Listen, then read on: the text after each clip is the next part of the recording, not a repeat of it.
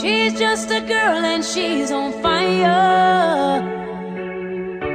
Hotter than a fantasy, lonely like a highway. She's living in a world and it's on fire.